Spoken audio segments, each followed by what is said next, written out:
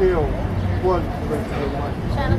Since 1953, the Army Drill Team has represented the power oh, and precision of America's Army. As the team changes formations while spinning 10-count rifles with fixed steel bayonets, they must maintain precise cadence and simultaneously controlling their weapons as they come within inches of striking their fellow teammates. Yeah, they just see what I'm saying.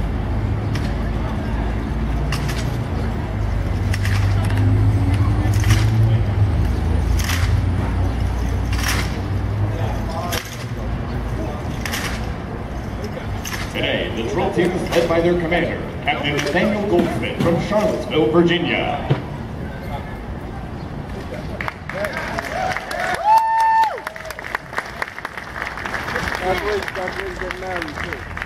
What is that?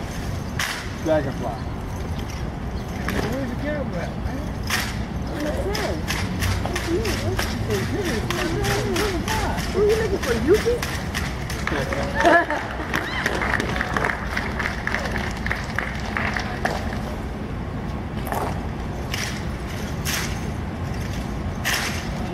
Awesome.